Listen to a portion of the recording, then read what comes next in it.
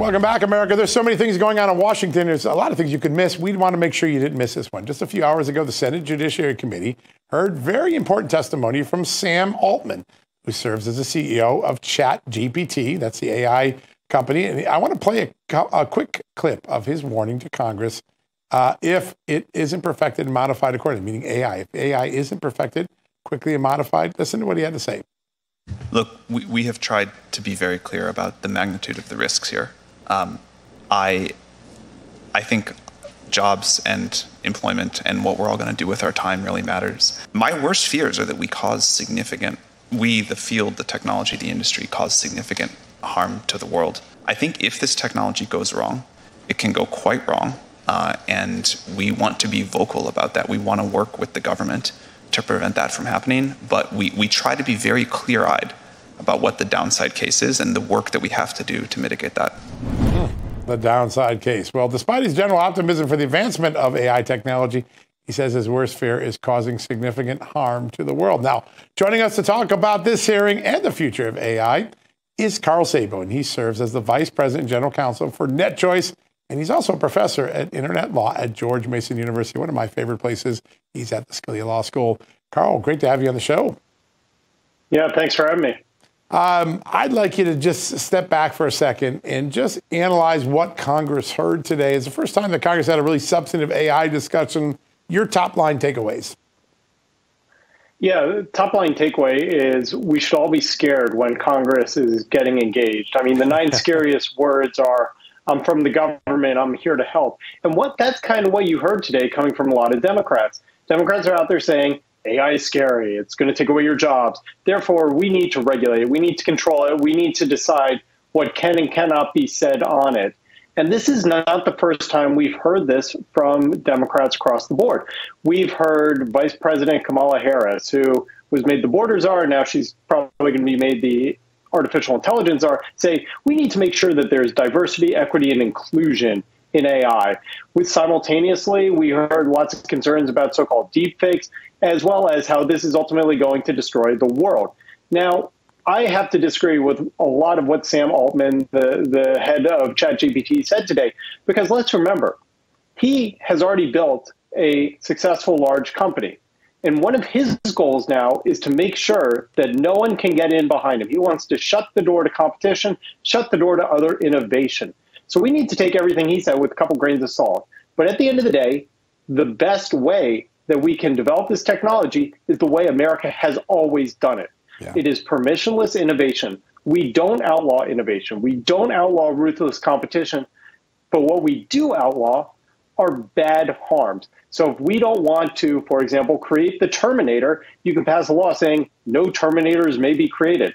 But by the same token, we're not going to ban a technology that can be used for so much good to help so many people across the world. Yeah, such an important point.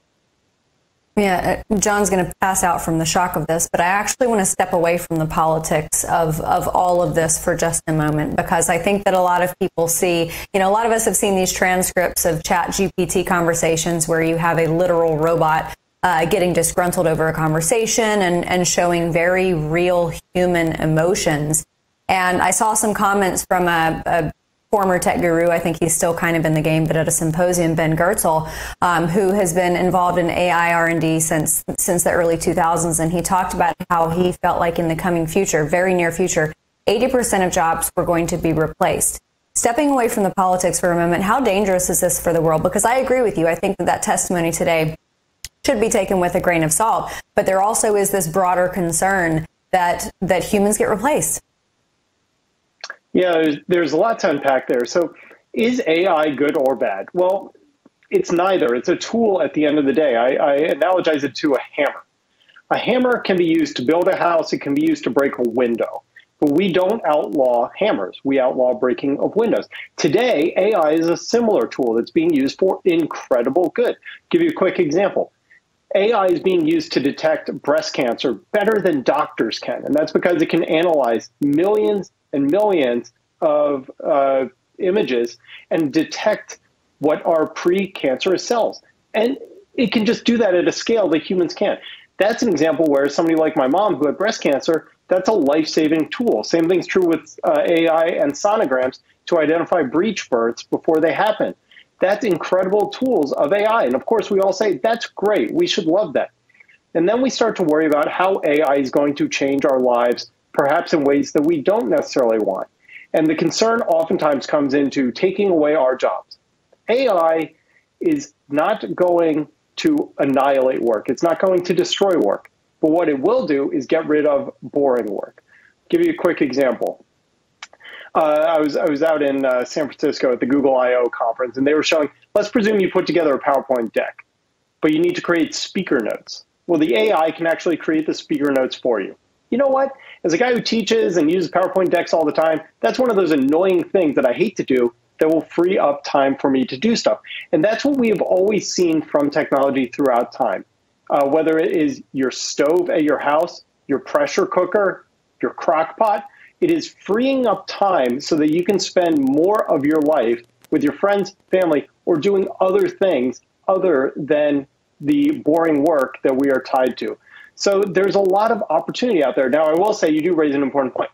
I do have three guidelines that we should all follow, three guidelines, and they are transparency, accountability, and security. Transparency, let people know when something is AI generated accountability, every existing law should apply to AI just like it does everything else.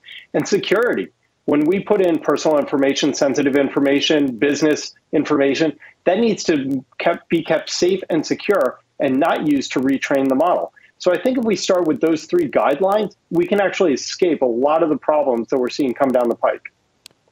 Carl, we just got about 30 seconds left. Real quickly, uh, there was an EO earlier this year by Joe Biden. He wants to make sure that AI has a diversity, equity, and inclusion plan, I guess.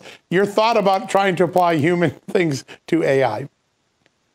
AI actually can uh, save us from a lot of the, the natural uh, prejudices that we, we always have. Like, you see somebody who's really tall, you think, wow, they're going to be a great basketball player. Uh, I'm not one of them. But what AI can do is it can eliminate all that. It can look at us on the quality of our character and the merit of our work, not the color of our skin, not our height, not our race. And it will actually help produce some of the most equal outcomes so long as we don't try to inject things like DEI into it. That's a very big thought. That's something I got to think about more. I never thought of that until this now. Carl, what a great honor to have you on. We enjoy all the work you do at George Mason University. We'll be sure to get you back on because AI is not going anywhere. Thanks for joining us, my friend. All right, folks, we're going to take a quick commercial break. When we come back, we're going to talk a little bit about big rigs, like in trucks, like in the effort to get rid of them in the name of carbon emissions. We'll talk about that right after this.